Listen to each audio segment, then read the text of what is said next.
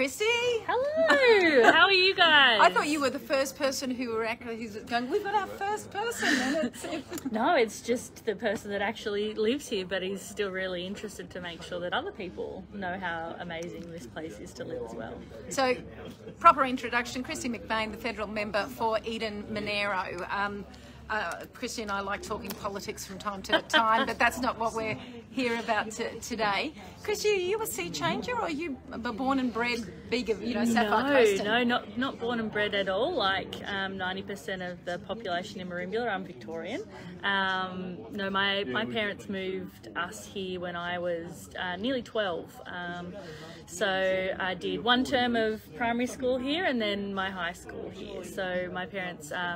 Um, Bought a small business in Merimbula, uh, moved the whole family up here, and um, you know, I loved growing up here. I, I left, uh, like a lot of people, uh, you know, did uni and, and started my career elsewhere. Uh, and then I got married and uh, we were talking about having kids, and this is the place I wanted them to grow up. Because we'd had a great time growing up here, so we came back. So some of the original sea changes. Now, of course, you're only like about 27, I think. You know, not very, you know, because I know it's it, something like that. But what sort of business did your parents start up? Uh, my parents um, purchased a shoe store uh, and changed it into a sports store.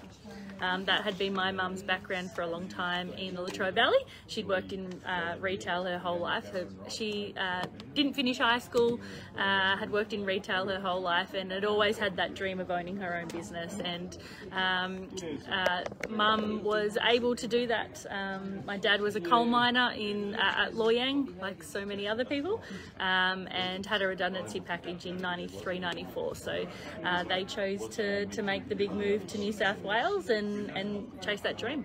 And and that is a, that whole concept of chasing a dream. One of the biggest issues I think people raise is what am I going to do for work? And a lot of people go, I'm going to take the risk to start our own business. That's what my husband and I did. We, Yeah. we were corporate execs in Sydney.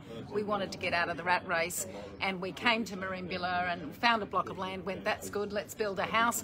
Oh my goodness, what are we going to do? Yep. And we went, we'll buy a business. And um, we used the skills that we had to move into real estate. And, and we didn't know anything about real estate before we came to Merimbula, but we were we, we then built one of the probably the biggest real estate group over the last 20 years in southeast New South Wales.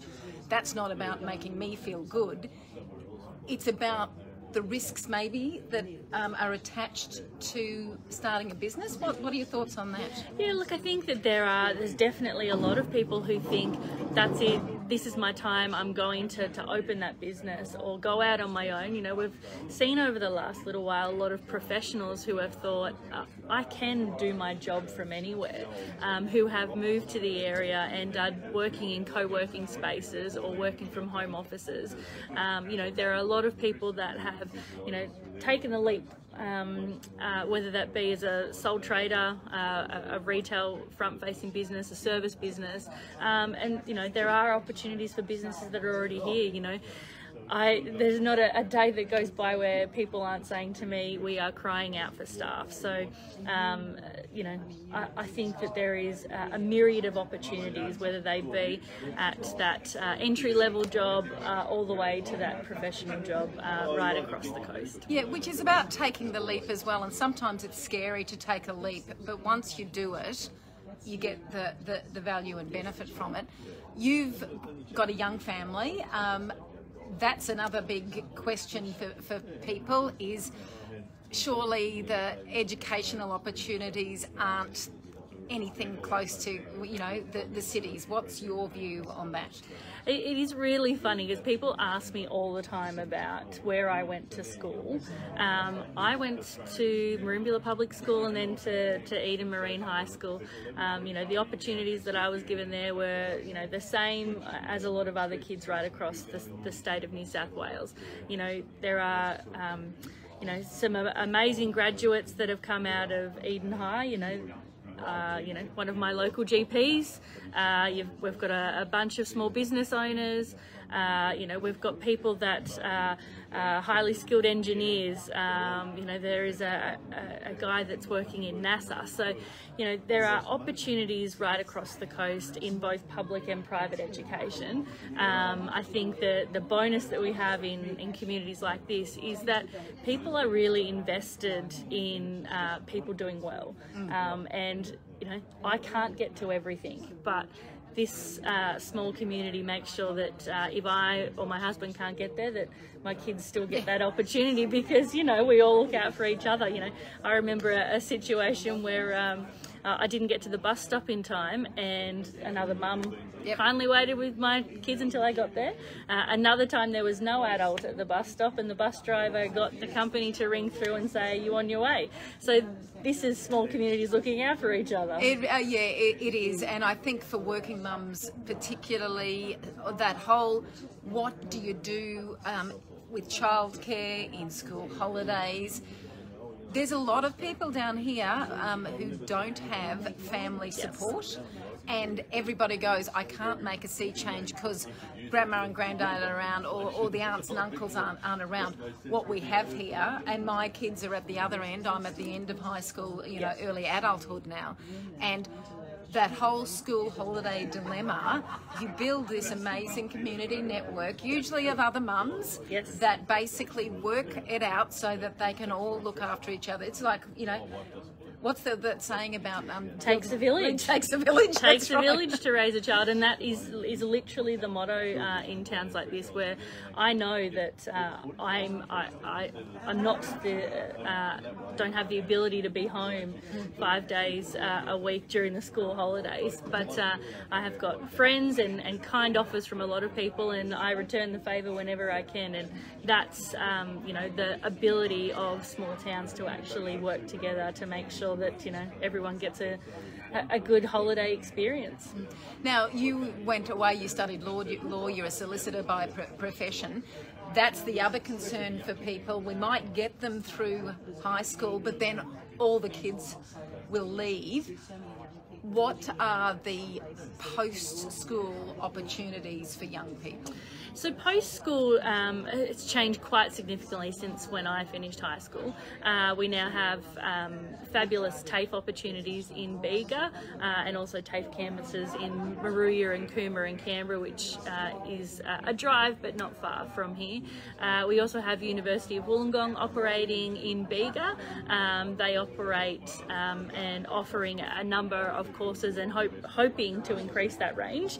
Um, but you know, there some kids do want to go away. Some kids do want to experience what else is out there, and that's not a bad thing. You know, I was one of those kids who couldn't wait to get out of here. I was like, that's it. I'm I'm 18. I'm on the road. I'm done. Um, and then I got to an age where I was like, I want to come home. Yeah. This is where I see myself living uh, for the rest of my life and those opportunities are all available. You know, there are uh, apprenticeships um, uh, galore because uh, my husband works in the trade, and you know, trying to get uh, skilled tradespeople or apprentices is always um, always a challenge. So you know, those opportunities exist for the kids that don't want to be at uh, you know university. Um, as I said, there are career opportunities uh, in a number of areas. You know.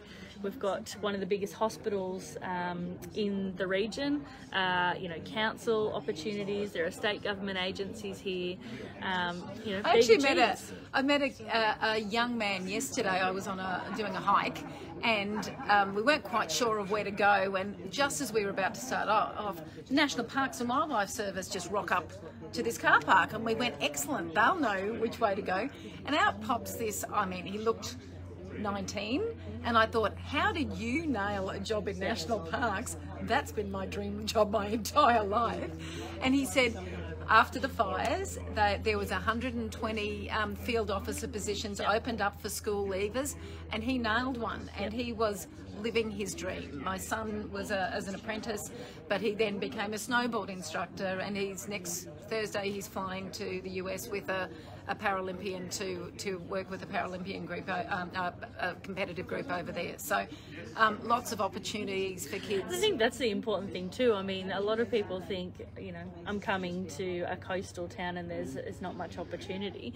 You know, very few places across the world can you have your feet uh, in the sea in the morning and be at the top of our highest peak in the afternoon. I mean, uh, our snowfields are, you know, just over two hours away from us and uh, pretty easy drive. Um, so yeah, I do it every second week. Yep. So The capital of Australia is three hours uh, from us. We're spot bang in the middle of uh, Melbourne and Sydney. You know, there, there are plenty of opportunities, uh, and with the airport being in Merimbula too, it makes it very, very easy. Yeah, uh, that's how I started um, my commute when we were down here. I was flying flying down and going back to my Sydney Sydney job.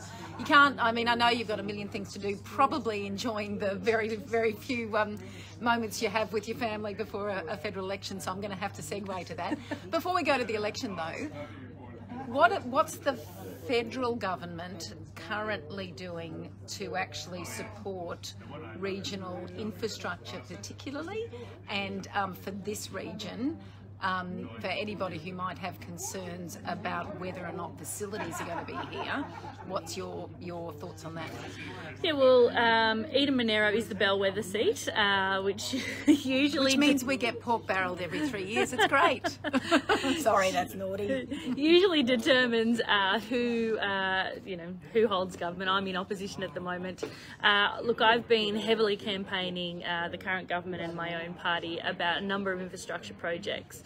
Uh, following on from bushfires, obviously, uh, there are a number of, of issues that we've encountered, and mobile phone black spots is one of the biggest ones. Um, so we need to make sure that we are heavily pu- pushing on that because you know that also impacts business uh, growth and development. So uh, mobile phone uh, coverage and reception is a huge one for us. Uh, in Parliament, I'm on the Regional Australia Committee, um, and it, it has always struck me as weird that we actually don't have a plan for regional development, uh, not one where we see infrastructure rolled out. Um, for a planned purpose rather than an uh, election purpose. So um, that's one Very diplomatic. Very diplomatic. it's one I'm heavily pushing on because I think that would also give. Um, uh, real clear signal to, to business of uh, infrastructure investment coming to regions, and then they then may be able to create their own investment in those regions regions based off that infrastructure. So um, I'm heavily pushing on making sure that that is uh, something that is um, accepted by both major parties uh, so that we can then actually have a, a planned rollout of infrastructure in the regions. What about other concerns that people who are moving here might have about moving from a big city to here? You know, and I'm talking in terms of the political sphere of things that you you may have some influence over. Yeah, look, uh, I think in general, um, we try to be very apolitical in regions um, because we all want to be actually doing the right things to to um, cater for our communities. And I'm not saying that uh, for But we also live together. purpose. You know, That's no, exactly I mean, the right. thing is, in small I towns, might, yeah, I might not have your politics, Yeah. but I'm going to see you in Woolies. Yeah. yeah. in small towns, um, we we do our very best to make sure that we're catering for a wide range of people, and that means listening. And um, for me, it's it's a lot of listening at the moment because, as I said, we've been through a pretty pretty tough time over the last couple of years, and uh, making sure that any policies that are implemented or any promises that are made in an election actually helps people. Okay, and I'm getting the wind up over here, but one last question. So, what's your take on when the election's going to be? Are we looking at May? Oh yeah, I definitely think May.